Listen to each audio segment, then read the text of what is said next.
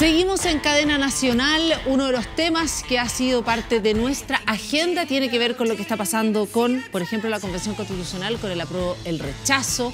¿Qué pasa con la aprobación del gobierno en apenas tres semanas? También que tiene en ejercicio de esto y mucho más. Vamos a hablar con el, nuestro sociólogo Axel Callis, director de Tú Influyes y que además eh, ahora tienes una encuesta que acaba de salir recién, ayer en la noche, ¿no? Sí, en la madrugada de hoy día a la mañana. En la madrugada de hoy día salió la encuesta. Eh, bienvenido, ¿cómo estás? Buenas noches. Ay, muchas gracias por estar con nosotros.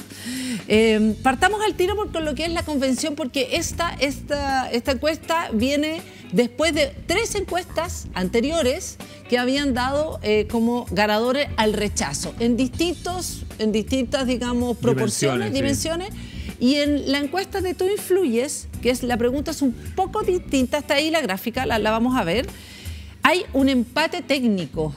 Sí, a los periodistas les encanta decir eso. ¿ah? Ay, sí, porque los, periodistas son atroces. No, pero es que les encanta el empate técnico, así como es como... Yo siento que sienten placer cuando lo dicen. Empate. Hay un empate. 39% está por aprobar la nueva constitución en el plebiscito de salida mientras que el 38A se inclina por rechazar. Eso sube 7 puntos. Cuéntanos, ¿cuál es la mirada que tú le das eh, a, este empate y a las otras encuestas? ¿Es una tendencia que... No. Ya. A ver, lo primero es que está... Eh, la, pregunta es distinta. Nosotros no, técnicamente no, no consideramos que uno pueda preguntar sobre una situación que no existe.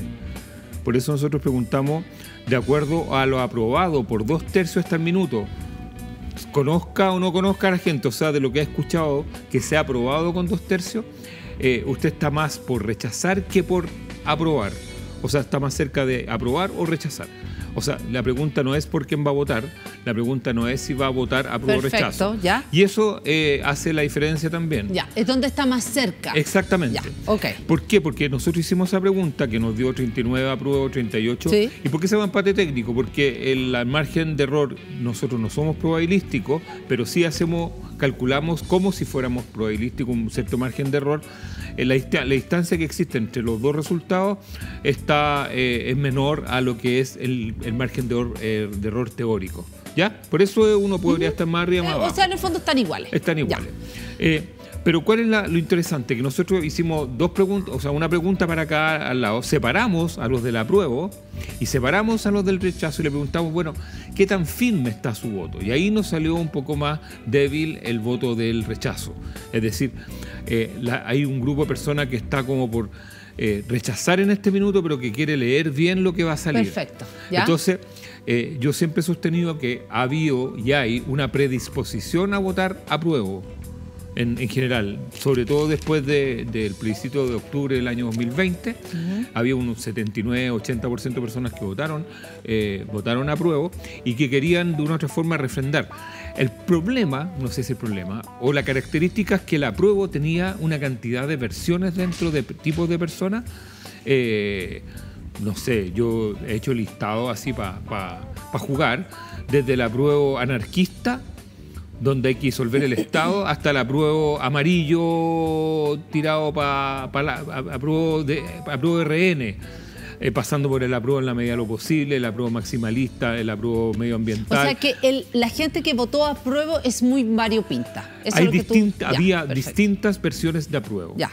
Pero eh, una vez que tú le empiezas a entregar contenido, y forma, porque yo creo que el rechazo ha aumentado no solo por los contenidos, sino que por la forma también, que es algo que hemos conversado, Andrea, hace tiempo, que es esta, la mala, la, no sé si uno puede decir, eh, tiene, la reputación ha caído mucho de la convención, no solamente en nuestra encuesta, sino que en general la expectativa han bajado. Y en ese contexto eh, no hay nada que ayude a mejorar eh, la reputación de lo que está sucediendo ahí adentro. Y eso como que le llega a las personas, porque en el fondo em, el material que surge de la constituyente o de la convención constitucional no es discriminado por nadie, es decir, llega directamente o a través de los medios o a través de las redes sociales o a través de WhatsApp.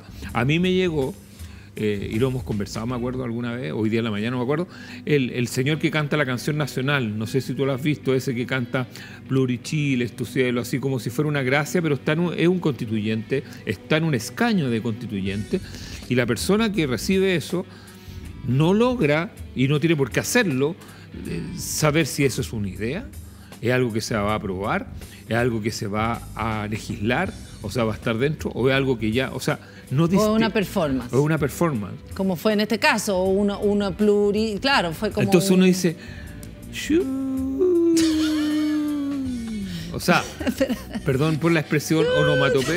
O sea, o sea, había un chiste de eso, había como un había, no sé si me explico. Sí, Fui sí, muy gráfico. Tú, tú, tú dices que, yo te he escuchado otras veces decir que los convencionales se están dando muchos gustitos. Sí. Y todas estas cosas, de alguna manera, lo que yo entiendo es que eh, para, en el universo están, están igualitarios, ¿no? El, el señor que dice plurichile, tu cielo a su lado, Mm. que eso cantó el caballero, muy mal, por decirlo, con, eh, con te van a robar tus fondos. Exactamente. Con, te van a eh, meter la, pla- la mano al bolsillo. ya, todo es eso- una es una es una cosa que caló muy fuerte. Es una eh, constitución abortista. Ya, eso, con todo eso, la mayoría de estas, muchas de estas totalmente medias verdades o derechamente mentiras. O testimonios. Muchas de estas, exactamente. O gente que da, que hace como la señora que quería destruir, digamos. Disolver todo- el Estado. Disolver el, el Yo disolver- estoy en esa línea. No, Ya. mentira. Todo eso queda en el, en lo mismo cognitivamente que en el fondo. Exactamente. Ya, perfecto. Ahora, o sea, si somos un puñadito de personas que vemos la tele y vemos las votaciones, el computador y, Ahora, ¿qué y son esos ladrillos larguísimos que yo los veo haciendo o tra- o trabajando, pero estoy con uno, uno- un oído puesto. ¿qué tan fijo es? Porque tú decías que había entre un 15 y a un 20% de lo que podríamos decir como público duro. Es decir, Sí. que va a aprobar o rechazar, pase lo que pase. Incondicionalmente. Haya lo que haya dentro. Sí, así es. Y hay un 60, 60 o 55% por ciento que no tiene tomada su decisión y es ahí donde O es la pelea. Esas Ya. personas. Y otra de las cosas que decías también en la mañana que, que hablamos es que eh, tú dices que esto se parece, y aquí quiero discrepar un poco porque me quedé pensando, se parece un poco o podría parecerse en términos de, de- del sí y el no. No, no, no, no, no dije ah, ya, eso. no dijiste eso. No, ya. lo que estoy diciendo eh, es que cuando uno, eh, me carga usar palabras como sociológicamente, pero Chile en términos como electorales, Ah, eso. sí, que es distinto al plebiscito. Ya. Lo que pasa es que en el plebiscito, eh, Chile en términos electorales eh, es más o menos, eh, hay personas que tienden a votar por sectores moderados o de derecha eh, un 40%. Sí, eso es como... Ya, pues. No, pero eso no es el plebiscito, sino que y, y- y- y votan por la centro izquierda o Sí. izquierda alrededor de un 50, un 50 y tanto por ciento. El medio, obviamente, que hay gente que fluctúa o bascula.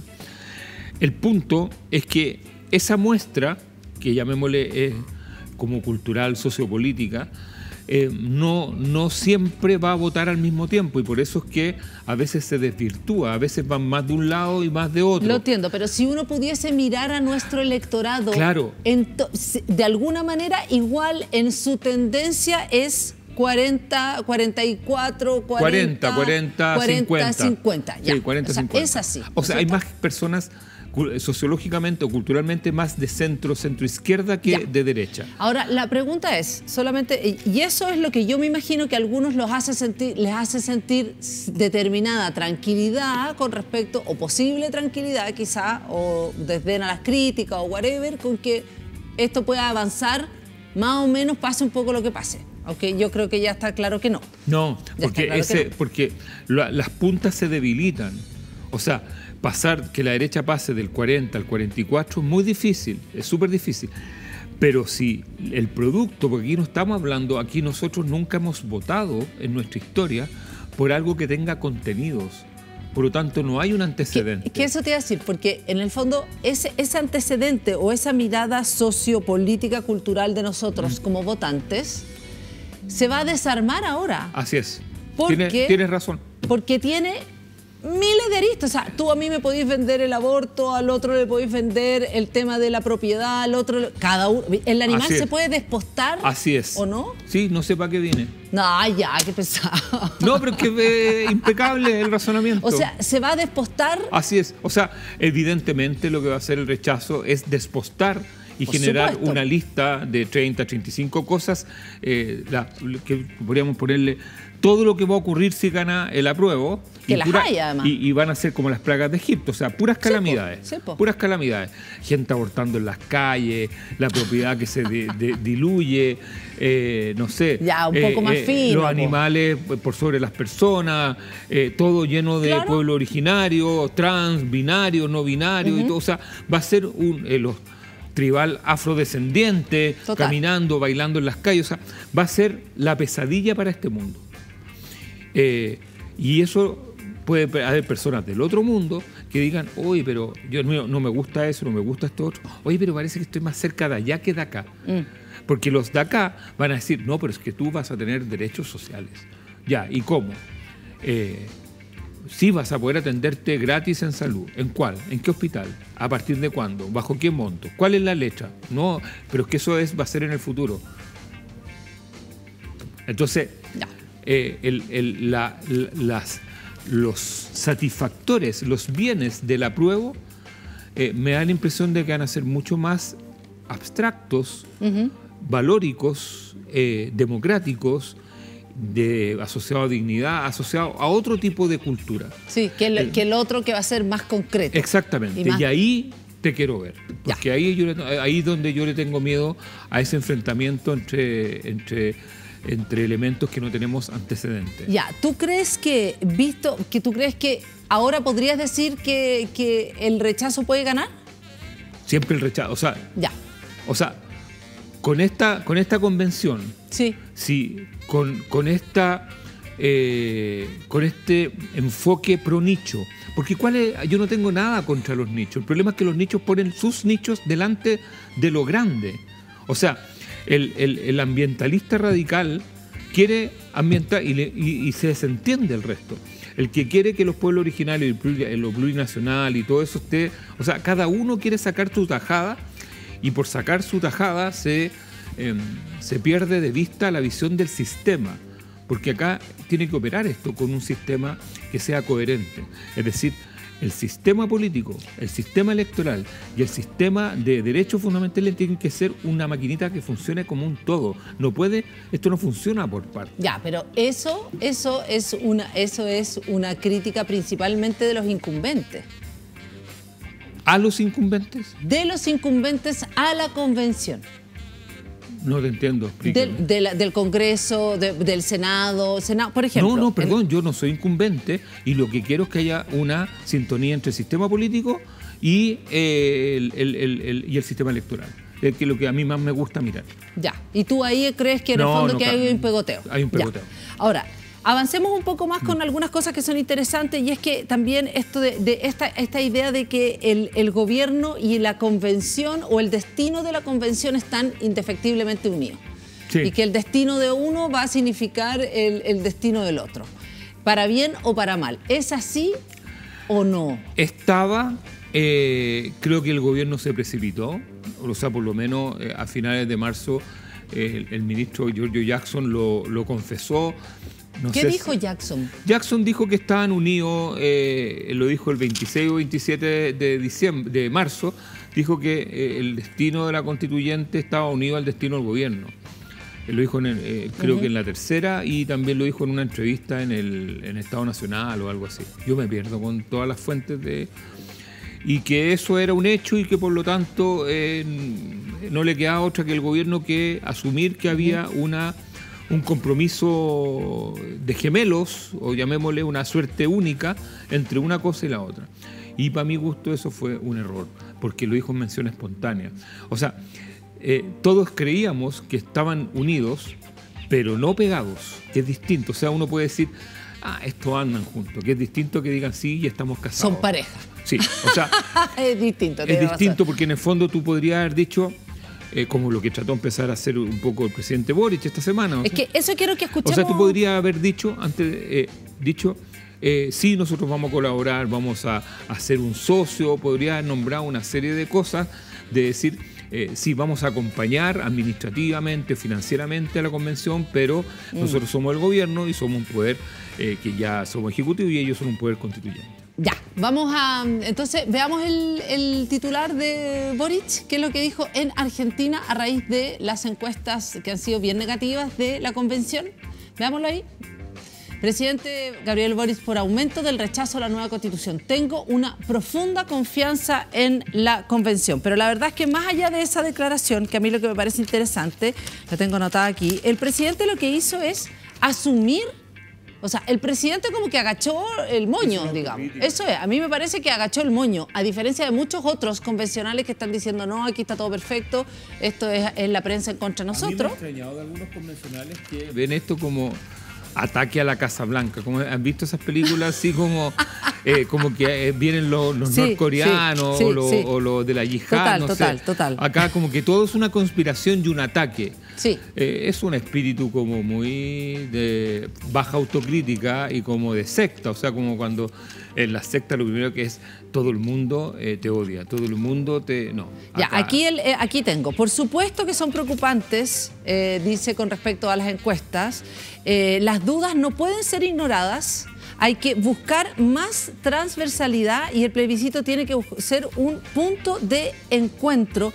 Y él dice que no solamente son cosas comunicacionales también, y termina, remata con esa declaración con tengo confianza en la convención, pero la verdad que inicialmente hace, hace recoge el guante, como se dice. Sí, porque esta es una constitución que yo creo que a él no le gusta. Ya, ¿qué es lo que quiere decir eh, Boric acá con esta declaración? O sea, lo que está dejando en evidencia es un poco lo que sucedió con el Frente Amplio y el Partido Socialista, que eran los llamados a darle eh, la gravedad en términos de eje, de gravedad de gravitacional. Y lo que ha pasado es que la convención ha estado liderada por el Partido Comunista. O sea, si ellos son los que han hecho el juego eh, hacia, hacia los pueblos originarios. O sea, la construcción de los 103 votos se dio con el diseño del Partido Comunista y no con el diseño del Frente Amplio y el PC. Porque en el fondo, perdón, y el PS. Porque en el fondo, según uno de acá es otra cosa con guitarra, yo me imagino.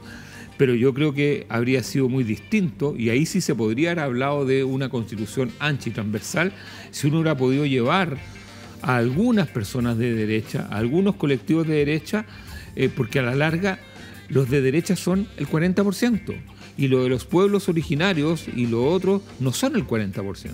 Entonces acá lo que tenemos es un error de diseño desde el primer, o sea, desde el inicio. Ya, pero... ¿Por qué eh, me miras así con eh, cara porque tengo, tengo varias dudas de esas cosas, pero estamos viendo tu, encuesta también, entonces no sé si vamos a ¿Por qué tienes dudas de eso? entonces no sé si vamos a entrar a la Convención Constitucional, digamos, como en el diseño A ver, te lo voy a poner de otra forma si yo hubiera estado adentro, no yo, o sea, pero yo hubiera estado siempre pensando en que esto lo tengo que aprobar al final. ¿Me, entiendo, no? ¿Y tú crees que los convencionales lo olvidaron?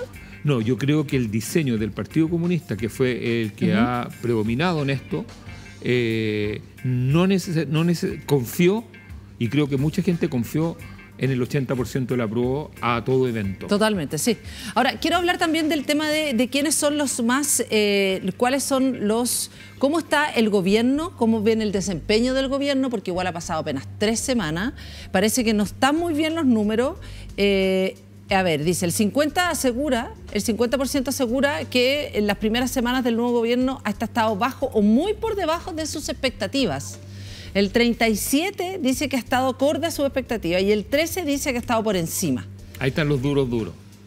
Los ya, no, o sea que ya los el 3 ya creyendo ya en cualquier cosa, lo que le dicen. o sea, eso, esa gente ya hay un Pero que las expectativas estaban muy altas también, pues eso lo, también se, todo el mundo decía que eh, cuando se, se, juntó como la Boric manía y todo eso. El 22% cree que el manejo del orden público es el tema que más podría debilitar al gobierno y un 37% dice que, eh, que quien debe conducir el proceso de diálogo en la Araucanía es un experto internacional en mediación de conflicto. Ah, y esto es para, para Nansen. Eh, y eh, menciona a la ministra Isquiasiche. Aquí los mejor evaluados son Mario Marcel, un 62. Valorable, muy valorable. ¿Por qué Mario Marcel? Porque yo creo que Mario Marcel eh, se está constituyendo como en el, en el más ancho, o sea, voy a decirlo de esta forma, Marcel constituye todo aquello que no tiene la constituyente, que es, eh, no sé, anchitud, voy a inventar, ancho, no sé cómo voy a decirle, es una persona que es valorada desde la centro derecha hasta la centro izquierda, izquierda inclusive. Todo el espectro valora a Mario Marcel. hay una idea ahí de responsabilidad, de experiencia. Em, yo diría que una persona ponderada, como que tiene el timón. Em, y lo conoce menos gente y sin embargo, em, sin embargo, ser menos conocido que otros tiene una valoración positiva a la altura de los otros que son mucho más conocidos. o dicho de otra forma, perdón, o dicho de otra forma, tiene mucho menos rechazo. Y que tiene un 62%, me sorprende porque igual el guatazo fue grande, digamos. Sí, pero... Eh, pero, no importa. Pero ahí hay que mirar cuánta gente la también... Eh, la rechaza. Eh, construyó un rechazo. O sea, ella es conocida 20 puntos, 15 puntos más o 20 puntos más que Marcel. Es decir, tiene la misma valoración teniendo mucho más conocimiento. Giorgio Jackson, 58%. Sí, y la Camila Vallejo un 55. Y Camila tiene un alto rechazo porque ahí está, opera todo el anticomunismo y todo eso. Eh, y el otro tema que me gustaría ver es el tema de lo que tiene que ver con la economía. Que tiene que ver, que va a ser, ese es un tema, un temazo que cada vez se va ampliando cada vez más. Los fondos de pensión, un 72% cree que haría un nuevo retiro, aunque eso implique quedar en cero. Sí. Eh, y es bastante contraintuitivo. ¿Por qué la gente valora a Marcel? Y también valora el eh, sacar. Son dos cosas que van por carriles completamente distintos y yo creo que todo el mundo que quiere sacar le encuentra razón a Marcel. O sea, no es excluyente encontrarle razón a Marcel que dice que no hay que tocar los fondos con la necesidad de sacar los fondos. Porque la mayor cantidad de personas que quieren sacar los fondos son personas de los estratos más bajos, de los estratos menos... o sea, y ahí ya está consolidado que cuando hay retiros hay plata en la calle. Eso es muy importante y, los que más se benefician son los más pobres, no los, no, no los que sacan la plata necesariamente sino que el chorreo que se produce en los sectores más vulnerables. Ah, perfecto, ya, te entiendo. Hay más circulantes. Hay más circulantes, o te lo voy a poner de otra forma. Es como si que fuera Navidad, listo. exactamente. o sea, hay más plata. Ya, hay más Y se nota. Y dice, ¿el 40% considera que su situación actual económica es mala o muy mala? Sí, subió Esto bastante. sube 8 puntos. Sí, hubo un cambio tremendo el último mes. Yo creo que tiene que ver con la inflación. A mí me, llama la atención, yo creo que vamos, eh, la próxima encuesta del próximo mes o lo que empecemos a ver, el tema económico se va a ir tomando la gente. Sí, totalmente. Eh, porque algo pasó, o sea, hubo un cambio muy grande de febrero, final de febrero, marzo. Eh, o sea, se apareció marzo finalmente y se apareció en mala. O sea, este em, marzo fue, pero ya. terrible, pero, pero aparte de eso, eh, no es solamente que el aceite, el, o sea, yo en la feria el domingo puse una foto de. Eh, nunca. gente me, decía, pero no puedo creer, el kilo lenguado a 20 lucas. O sea, en una feria está bien de la reina, que puede ser más cara que Puente Alto y la Vintana. Pero 20 mil pesos, un kilo de pescado en la feria, es algo que yo nunca había visto. No, no el pescado, el kilo de pescado. O sea, sí, pues, o sea el kilo puede, pesar 3. 3 kilos. 60 lucas. 60 lucas. ya, bueno. O sea, y después te lo, te lo, te lo filetean. Pero yo me imagino que no te lo compraste. No, estás loca. o sea que... No, pero la reineta... O sea, yo, yo, yo, yo, igual encuentro esta cara a la reineta, te sí, pero, pero es que antes nos espantábamos con las paltas pero no solamente eso, sino que también tiene que ver con el precio de la harina, tiene que ver con el precio del aceite, tiene que ver con el precio de muchos productos no, básicos. todo, por el pan. Eh, y eso se está sintiendo y estamos viendo ya que el, el, crecimiento se empieza a ralentizar y bueno, el precio de, las gasolinas también. Entonces, eh, está llegando la crisis económica y aquí los economistas nos lo advirtieron a todos en el mes de octubre. Nos dijeron la fiesta se acaba en el verano y la fiesta se está acabando. Y tú, y esto va a ir aumentando. ¿Tú crees que esta agenda se, va a ir tomando eh, la, eh, digamos, el día a día, ¿no? Sí, no, yo espero que Marcel o el ministro de Hacienda hable esta semana. O sea, yo, esperaba que hablara la semana pasada. O sea, tiene que aparecer el ministro de Hacienda y tiene que aparecer el gobierno dando algunos lineamientos para ver cómo vamos a enfrentar si esto es una crisis económica lo que se nos viene. Ya, ¿y tú crees que eh, el, avance del quinto retiro es un golpe muy duro para la coalición? Porque no es lo mismo que las huestes del gobierno de Piñera se hayan alzado, digamos, y hayan votado a favor de, de los retiros, porque ya será un gobierno que de alguna manera venía muy quebrado que este gobierno que tiene todas esas esperanzas y que finalmente, como estamos olfateando, viendo, no sé cómo lo ves tú, qué va a pasar con el quinto retiro y cuán decidor es del futuro o de, los, o de cómo va a navegar el gobierno de Boric. A ver, eh, ojalá que el gobierno, a ver, tiene mal pronóstico Ya, para el eso yo- gobierno. ya, perfecto. O sea, yo creo que va a avanzar harto el, el quinto retiro. ¿Pero se va a aprobar?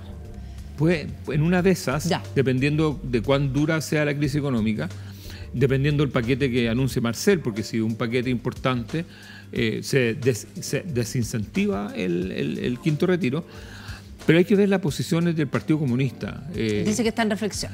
es que eso ya eso lo mata. Yo ya hablé O con, sea- yo ya hablé con el, el lunes con, con Telier. No, eso, lo, eso, a ver, como gobierno te mata. Porque el gobierno tiene que ser un ladrillo y tiene que entrar al Congreso como un ladrillo, donde no le entra ni una bala, ni un, ni un cristal. O sea, si en el gobierno hay piezas sueltas, chao. O sea, si no muestras disciplina como gobierno, eh, no le puedes pedir disciplina a los que son oposición o están en torno al gobierno. Por eso, ¿cómo, cómo, cómo navegaría el gobierno de Boric si eso avanza?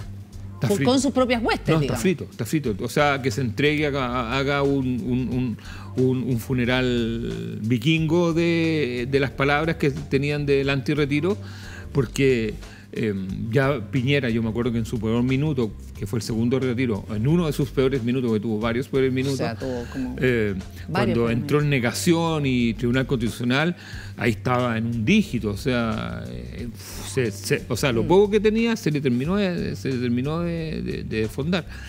Eh, yo creo que el gobierno tendría que haber, o sea, tiene que ordenar a sus huestes y salir con tuti a tratar de buscar alguna alianza dentro de la derecha eh, para este tema en el Senado.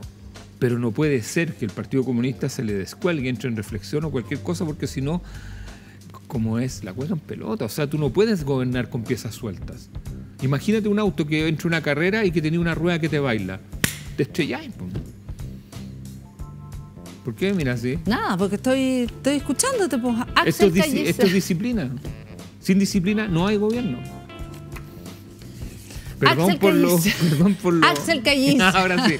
Sociólogo, director de Tu Influyes. Toda la data, toda la data que usted quiere ver está en tuinfluyes.com, ¿no Sí, es cierto? sí. Todo el detalle de las encuestas, unas gráficas espectaculares, preciosas, con toda ¿Te esta gusta? data y más. ¿Te Sí. gusta la estética? Sí, sí, ya, es, es minimalista. Sí, ¿no? me gusta, por eso lo estoy diciendo. Si no, no lo diría tú. No, tú te cachai que no. Aquí no es, eso no es la especialidad de la casa. Qué bueno. Muchas gracias, Axel, por estar con nosotros. Vamos a seguir estos análisis. Yo creo que son momentos difíciles de este. O sea, siempre decimos que es momentos difíciles. Yo Pero es lo único que, yo quiero es creo- que haya un momento no Es que difícil yo creo en que la hace vida. rato que estamos, esta cuestión como que ya hace Sí. rato va a quedar movida para siempre. O sea, Sí. no sé si para siempre, pero para muchos años más. Como todos nuestros vecinos también están complicados. El mundo. Sí, por el mundo. Hay elecciones en. Francia el domingo. ah, Yo sé que esto O sea, no le importa a nadie, pero a mí pues, me importa. Sí, pues claro que importa, Sí. por supuesto que importa. Muchas gracias, Axel. Chao, Andrea. Y nosotros seguimos acá con más cadena nacional. No te vayas, estás en viajes.